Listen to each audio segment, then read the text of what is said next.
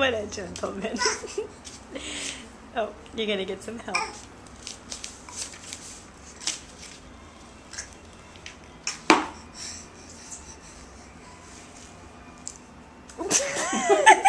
okay.